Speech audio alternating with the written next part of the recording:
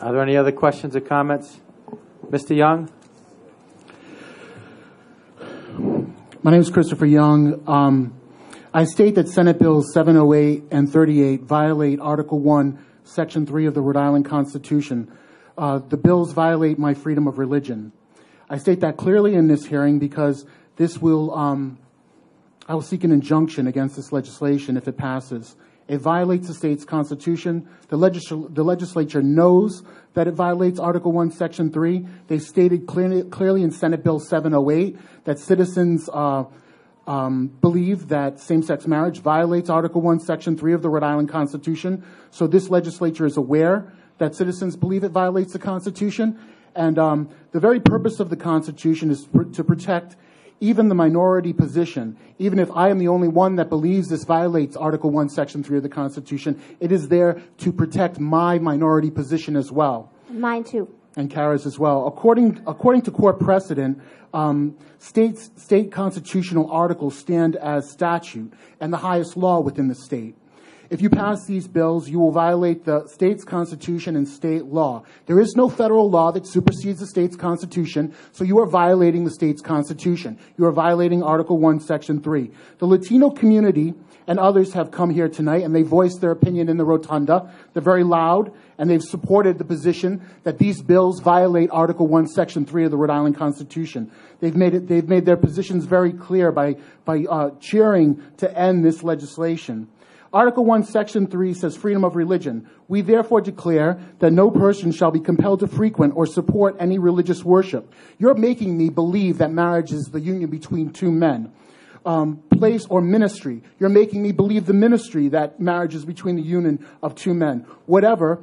In except in fulfillment of such person's voluntary contract. Kara and I were married under a religious contract, a covenant with God, according to the Catholic faith, and under our contract with the state.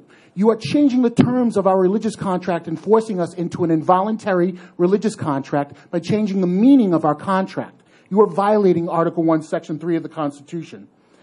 The, bill, the, the, legis, uh, the, Constitution says as well, nor enforced, restrained, molested, or burdened in body or goods or disqualified from holding public office, nor otherwise suffer on account of such person's religious belief. You are making me suffer on the count of my religious belief to have to come before you continually and, and, and, defend Article 1, Section 3 of the Constitution, which as members of the judiciary, you should know the law, you should know the Constitution, and, and you should know that the Constitution acts as a statute and it has the power to stop you from doing what you're doing, but you continue to do it um, you are violating the Constitution, and, and, and the Constitution further goes on to say, um, and that every person shall be free to worship God according to the dictates of such person's conscience. You are, you are making me violate my conscience by believing that marriage is a union between two men, two women, or a brother and a sister, according to uh, 708, which says two people can marry. Well, you know, Obviously, you guys are attorneys. You know that under equal protection, two brothers, two sisters will, will try and claim that they are two persons. Why aren't they allowed to marry?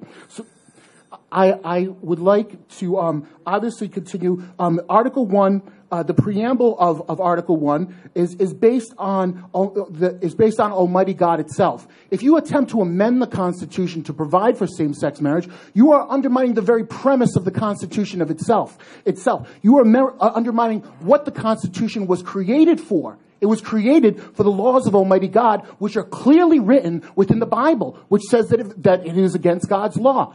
You are tricking people into a behavior where they will not have kids, they will not have kids. Two men will not have children. It's a depopulation program. Two men will get AIDS and HIV. According to the Center for Disease Control, they have an 86 times higher rate of AIDS and HIV. I did not do the study. The Center for Disease Control did the study.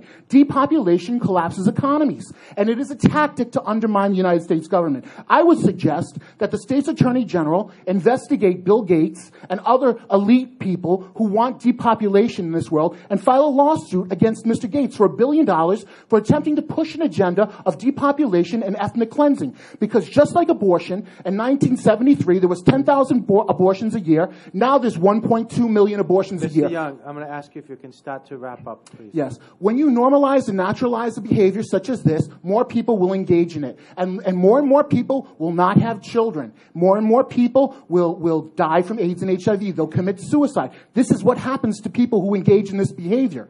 And when, and when this happens, the economy of this country will collapse. More and more people will not have children. It's common sense. It's common sense that it violates my religious beliefs. I've stated it clearly. Many members of the audience who are cheering outside will state it as well. You are violating the Constitution. Both bills violate the Constitution. You cannot proceed forward with this legislation. Thank you. Thank you, Mr. Young. Are there any questions or comments for Mr. Young? Thank you.